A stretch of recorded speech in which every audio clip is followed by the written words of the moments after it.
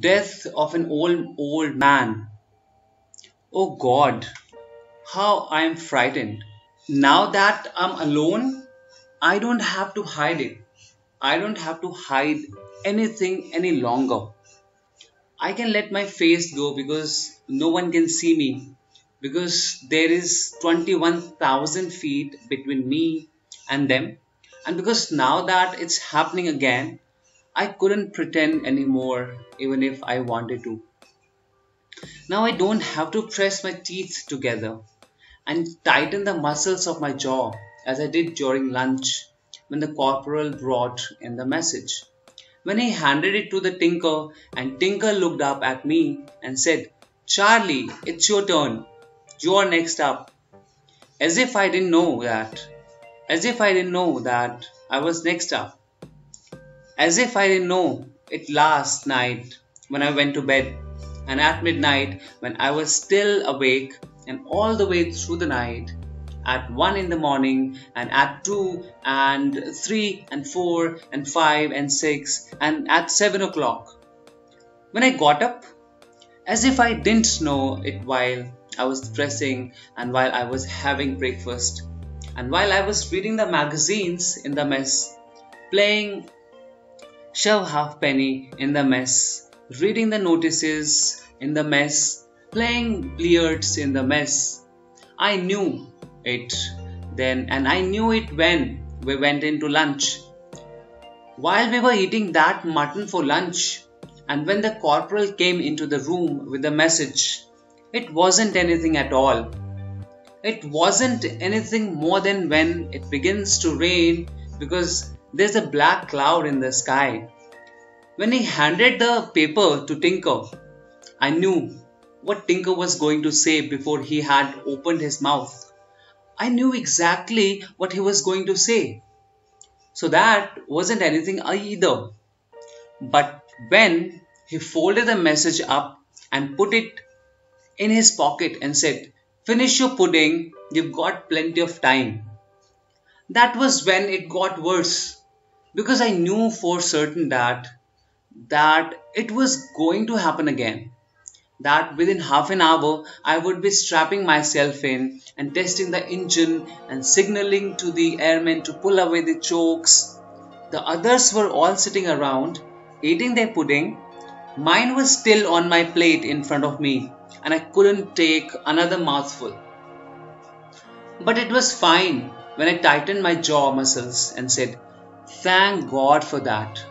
I'm tired of sitting around here picking my nose it was certainly fine when I said that. It must have sounded like any of the others just before they started off. And when I got up to leave the table and said, See you at tea time, that must have sounded all the right too. But now I don't have to do any of that. Thank Christ, I don't have to do that now.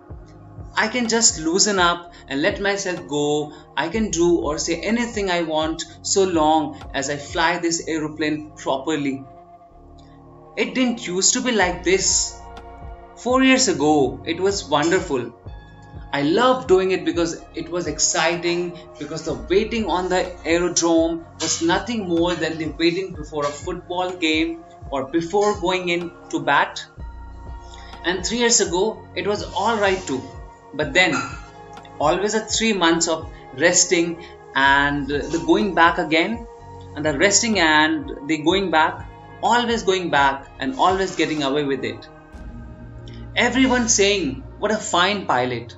No one knowing what a near thing it was that time near Brussels and how lucky it was that time over Dieppe and how bad it was that other time over Dieppe and how lucky and bad and scared I have been every minute of every trip, every week this year. No one knows that. They all say. Charlie is a great pilot. Charlie is a born flyer. Charlie is terrific. I think he was once, but not any longer. Each time now it gets worse. At first, it begins to grow upon you slowly coming upon you slowly, creeping up on you from behind, making no noise, so that you do not turn around and see it coming. If you saw it coming, perhaps you could stop it, but there is no warning. It creeps closer and closer, like a cat creeps closer, stalking a sparrow. And then, when it is right behind you, it does not spring like the cat would spring. It just leans forward and whispers in your ear. It touches you gently on the shoulder and whispers to you that you are young, that you have a million things to do and a million things to say, that if you are not careful, you will buy it. That you are almost certain to buy it sooner or later, and that when you do, you will not be anything any longer. You will just be a charred corpse. It whispers to you about how your corpse will look when it is charred, how black it will be, and how it will be twisted and brittle with the face black and the fingers black and the shoes off the feet because the shoes always come off the feet when you die like that. At first, it whispers to you only at night, when you are lying awake in bed at night then whispers to you at odd moments during the day when you are doing your teeth or drinking a beer or when you are walking down the passage. And in the end, it becomes so that you hear it all day and all night, all the time. There is IJmuiden, just the same as ever, with the little knob sticking out just beside it. There are the Frisians, Texels, Weiland, Terschelling, Ameland, Juist, and Nordney. I know them all. They look like bacteria. Under a microscope, there's the Zuider Zee, there's Holland, there's the North Sea, there's Belgium, and there's the world. There's a whole bloody world right there with all the people who aren't going to get killed, and all the houses, and the towns, and the sea with all the fish. The fish aren't going to get killed either. I'm the only one that's going to get killed. I don't want to die. Oh God, I don't want to die. I don't want to die today anyway. And uh, it is in the pain. Really, it is in the pain. I don't mind having my leg mashed or my arm burnt off. I swear to you that I don't mind that. But I don't want to die. Four years ago, I didn't mind. I remember distinctly not minding about it four years ago. I didn't mind about it three years ago either. It was all fine and exciting as it always is when it looks as though you may be going to lose, as it did then. It is always fine to fight when you are going to lose everything anyway. And that was how it was four years ago. But now we're going to win. It is so different when you're going to win. If I die now, I lose 50 years of life, and I don't want to lose that. I lose anything except that because that would be all the things I want to do, and all the things I want to see, all the things like going on sleeping with joy, like going home sometimes, like walking through a wood, like pouring out a drink from a bottle, like looking forward to weekends and like being alive every hour, every day, every year for 50 years, if I die now, I will miss all that. And I will miss everything else. I will miss the things that I don't know about. I think those are really the things I'm frightened of missing. I think the reason I don't want to die is because of the things I hope will happen. Yes, that's right. I'm sure that's right. Point a revolver at a tram, at a wet, shivering tram on the side of the road and say, I'm going to shoot you, and he will cry. Don't shoot, please don't shoot. The tram clings to life because of the things he hopes will happen. I'm clinging to it for the same reason, but I have clung for so long now that I cannot hold on much longer. Soon I will have to let go. It is like hanging over the edge of a cliff. That's what it is like and I have been hanging on too long now. Holding on to the top of the cliff with my fingers, not being able to pull myself back up, with my fingers getting more and more tired, beginning to hurt and to ache, so that I know that sooner or later I will have to let go. I dare not cry out for help. That is one thing that I dare not do. So I go on hanging over the side of this cliff, and as I hang, I keep kicking a little with my feet against the side of the cliff, trying desperately to find a foothold, but it is steep and smooth like the side of a ship. And there isn't any foothold. I'm kicking now, that's what I'm doing. I'm kicking against the smooth side of the cliff, and there isn't any foothold. Soon I shall have to let go. The longer I hang on, the more certain I'm of that. And so each hour, each day, each night, each week, I become more and more frightened. Four years ago, I wasn't hanging over the edge like this. I was running about in the field above.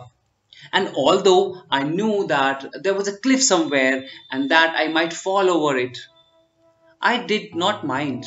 Three years ago, it was the same, but now it is different. I know that I'm not a coward. I'm certain of that. I will always keep going. Here I am today, at 2 o'clock in the afternoon, sitting here flying a course of 135 at 360 miles an hour, and flying well. And although I'm so frightened that I can hardly think, yet I'm going on to do this thing there was never any question of not going or of turning back. I would rather die than turn back. Turning back never enters into it. It would be easier if it did. I would prefer to have to fight that than to have to fight this fear. This Wasselt, little camouflage groups of buildings and great big camouflaged aerodrome probably full of 109s and 109Ts. Holland looks wonderful. It must be a lovely place in the summer. I expect they are haymaking down there now. I expect the German soldiers are watching the Dutch girls haymaking bastards. Watching them haymaking, then making them come home with them afterwards. I would like to be haymaking now. I would like to be haymaking and drinking cider. The pilot was sitting upright in the cockpit. His face was nearly hidden by his goggles and by his oxygen mask.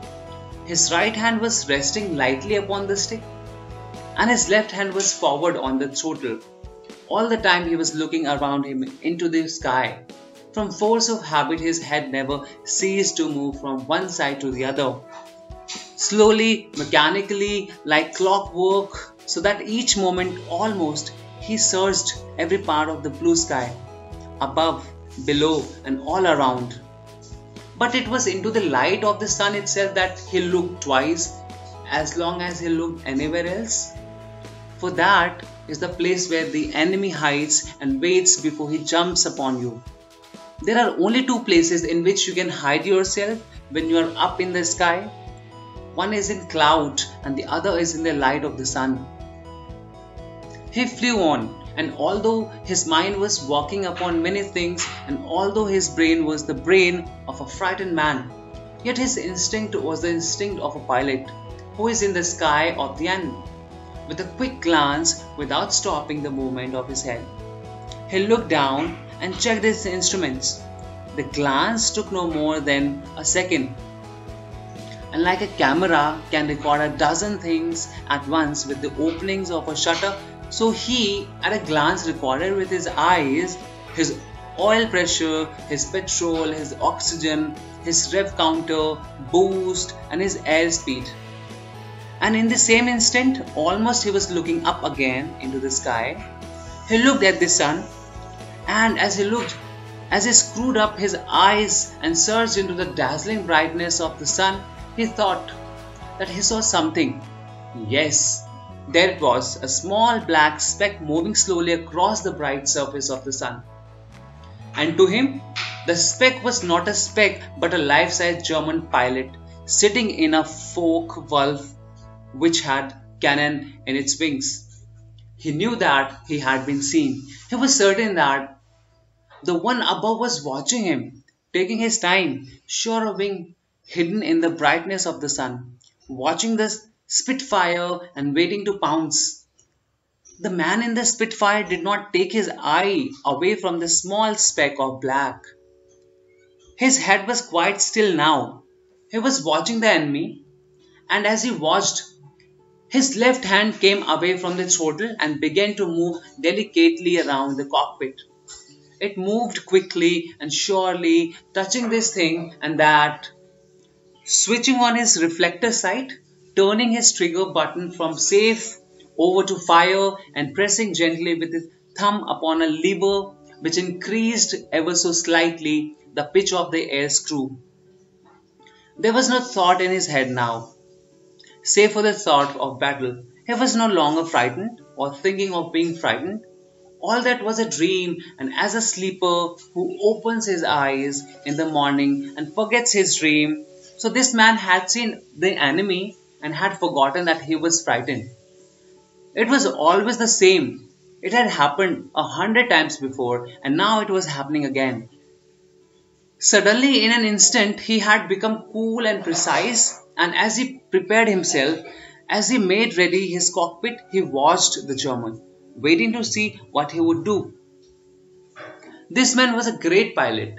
He was great because when the time came, whenever the moment arrived, his coolness was great and his courage was great. And more than anything else, his instinct was great. Greater by far than his coolness or his courage or his experience. Now he eased upon the throttle and pulled the stick gently backwards, trying to gain height, trying to gain a little of a 5000 feet advantage which the German had over him. But there was not much time. The Focke-Wulf came out of the sun with its nose down and it came fast the pilot saw it coming and it, he kept going straight on, pretending that he had not seen it. And all the time he was looking over his shoulder, watching the German, waiting for the moment to turn. If he turned too soon, the German would turn with him. And he would be duck soup. If he turned too late, the German would get him anyway, provided that he could shoot straight. And he would be duck soup then too. So he watched and waited, turning his head and looking over his shoulder, judging his distance, and as the German came within range, as he was about to press his thumb upon the trigger button, the pilot swerved. He yanked the stick hard back and over to the left. He kicked hard with his left foot upon the rudder bar, and like a leaf which is caught up and carried away by a gust of wind, the Spitfire flipped over onto its side and changed direction. The pilot blacked out. As his sight came back, as the blood drained away from his head and from his eyes, he looked up and saw the German fighter way ahead, turning with him, banking hard, trying to turn tighter and tighter in order to get back on the tail of the Spitfire. The fight was on. Here we go, he said to himself. Here we go again, and he smiled again. Smile once, quickly because he was confident, and because he had done this so many times before, and because each time he had won. The man was a beautiful pilot, but the German was good too. And when the Spitfire plied a little flap in order to turn in tighter circles, the Focke-Wulf appeared to do the same, and they turned together. When the Spitfire throttled back suddenly, and got on his tail, the Focke-Wulf half rolled and dived out and under and was away, pulling up again in a loop and rolling off the top, so that he came in again from behind.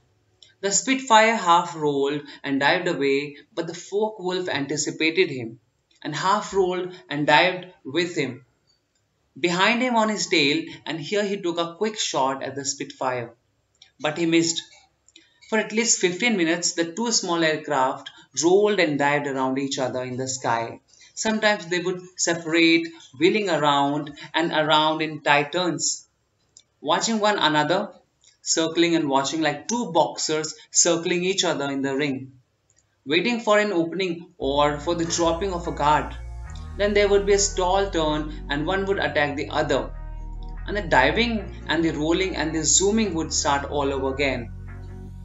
All the time, the pilot of the Spitfire sat upright in his cockpit and he flew his aircraft not with his hands but with the tips of his fingers. And the Spitfire was not a Spitfire but a part of his own body. The muscles of his arms and legs were in the wings and in the tail of the machine so that when he banked and turned and dived, and climbed. He was not moving his hands and his legs, but only the wings and the tail and the body of the aeroplane. For the body of the Spitfire was the body of the pilot, and there was no difference between the one and the other. So it went on, and all the while, as they fought and as they flew, they lost height coming down nearer and nearer to the fields of Holland. So that soon they were fighting only 3000 feet above the ground, and once one could see the hedges and the small trees and shadows which the small trees made upon the grass. Once the German tried a long shot from a thousand yards, and the pilot of the Spitfire saw the tracer streaming past in front of the nose of his machine. Once, when they flew close past each other, he saw, for a moment, the head and shoulders of the German under the grass roof of his cockpit. The head turned towards him with the brown helmet, the goggles, the nose, and the white scarf. Once, when the when he blacked out from a quick pull out, the blackout lasted longer than usual. It lasted maybe five seconds, and when his sight came back, he looked quickly around for the Focke-Wulf and saw it half a mile away, flying straight at him on the beam. A thin inch long black line which grew quickly so that almost at once it was no longer an inch, but an inch and a half, then two inches, then six, and then a foot. There was hardly any time.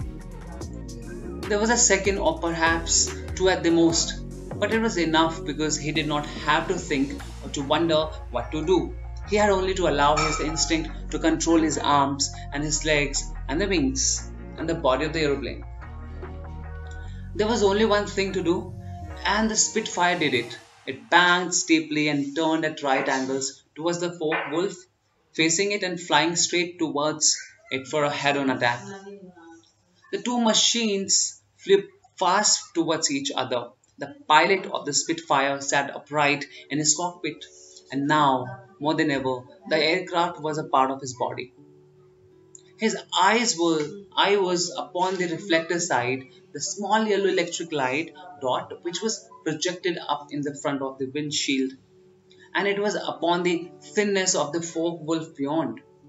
Quickly, precisely, he moved his aircraft a little this way and that, and the yellow dot, which moved with the aircraft, danced and jerked this way and that. And then suddenly it was upon the thin line of the Focke-Wulf, and there it stayed. His right thumb in the leather glove felt for the firing button. He squeezed it gently, as a rifleman squeezes a trigger his guns fired, and at the same time he saw the small spurts of flame from the cannon in the nose of the Focke-Wulf. The whole thing, from beginning to end, took perhaps as long as it would take you to light a cigarette. The German pilot came straight on at him, and he had a sudden, vivid, colorless view of the round nose and the thin, outstretched wings of the Focke-Wulf. Then there was a crack as their wings tips met and there was a splintering as the port wings of the Spitfire came away from the body of the machine. The Spitfire was dead.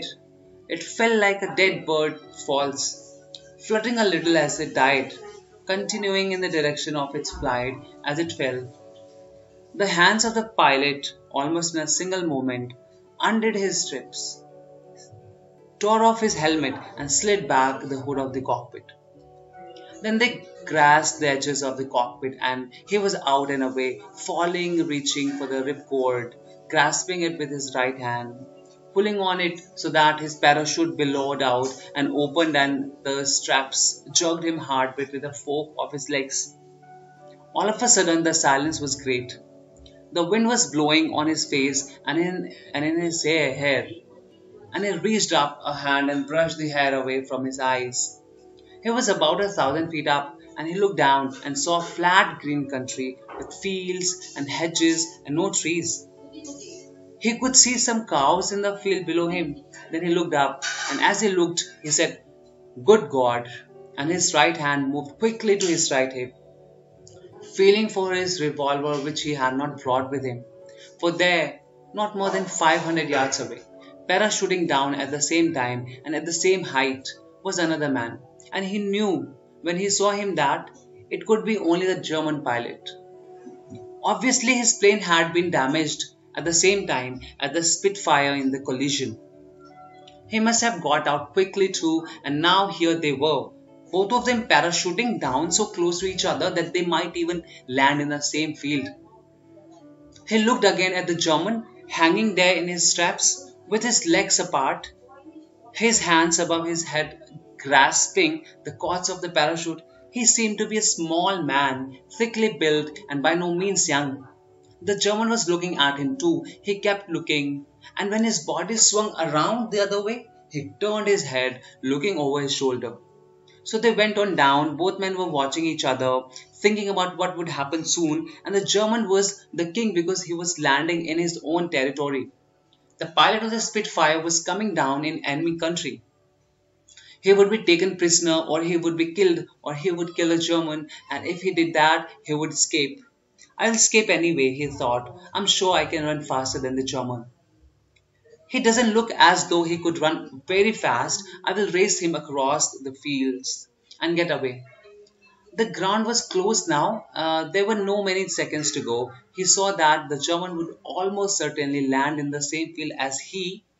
The field with the cows. He looked down to see what the field was like and whether the hedges were thick and whether there was a gate in the hedge and as he looked he saw below him in the field a small pond and there was a small stream running through the pond. It was a cow drinking pond, muddy around the edges and muddy in the water. The pond was right below him. He was no more than the height of a horse above it, and he was dropping fast. He was dropping right into the middle of the pond. Quickly he grasped the cords above his head and tried to spill the parachute to one side so that he would change direction but he was too late. It wasn't any good. All at once, something brushed the surface of his brain and the top of his stomach, and the fear which he had forgotten in the fighting was upon him again.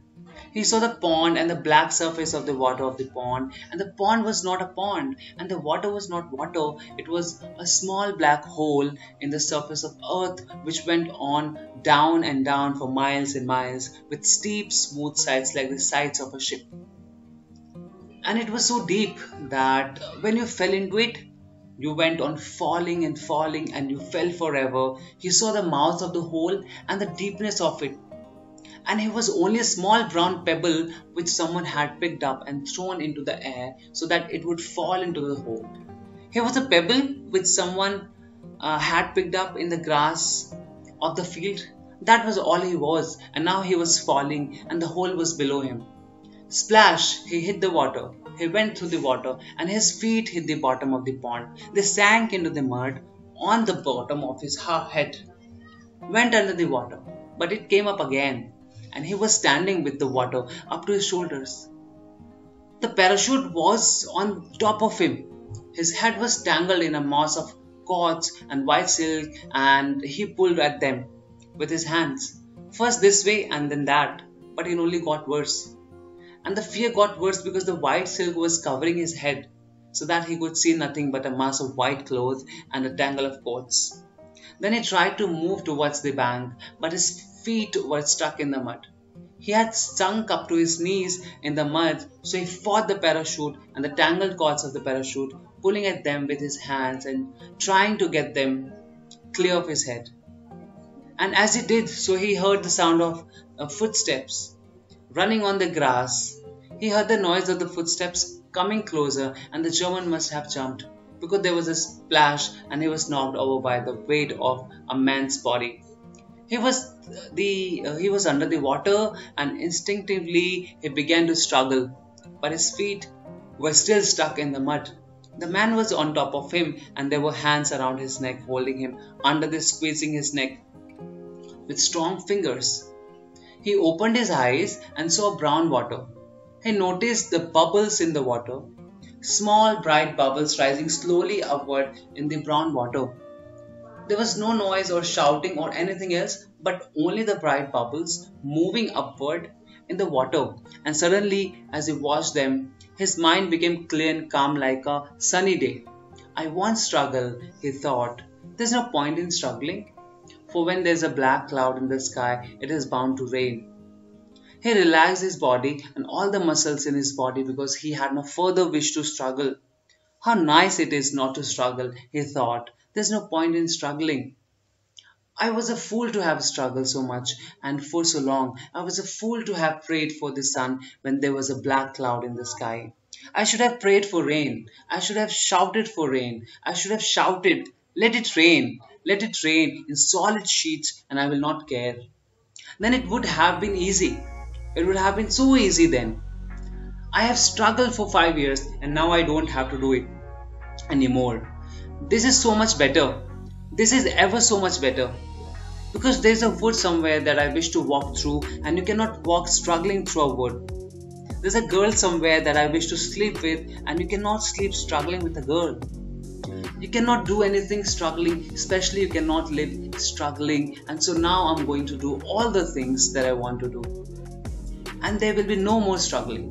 See how calm and lovely it is like this. See how sunny it is, and what a beautiful field this is uh, with the cows and the little pond and the green hedges with primroses growing in the hedges. Nothing will worry me anymore now. Nothing, nothing, nothing. Not even that man splashing in the water of the pond over there. He seems very puffed and out of breath. He seems to be dragging something out of the pond, something heavy. Now he's got to it, the side, and he's pulling it up on the grass. How funny! It's a body. It's a body of a man as a matter of fact, I think it's me. Yes, it's me. I know it is because of that smudge of yellow paint on the front of my flying suit. Now he's kneeling down, searching in my pockets, taking out my money and my identification card. He's found my pipe and the letter I got this morning from my mother. He's taking off my watch. Now he's getting up. He's going away. He's going to leave my body behind. Lying on the grass beside the pond, he's walking quickly away across the field towards the gate.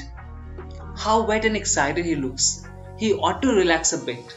He ought to relax like me. He can't be enjoying himself that way. I think I will tell him. Why don't you relax a bit? Goodness, how he jumped when I spoke to him and his face, just look at his face. I have never seen a man look at look as frightened as that He's daring to run. He's starting to run. He keeps looking back over his shoulder, but he keeps on running. But just look at his face. Just look how unhappy and frightened he is. I don't want to go with him. I think I'll leave him. I think I'll stay here for a bit. I think I'll go along the hedges and find some primroses. And if I'm lucky, I may find some white violets. Then I will go to sleep. I will go to sleep in the sun.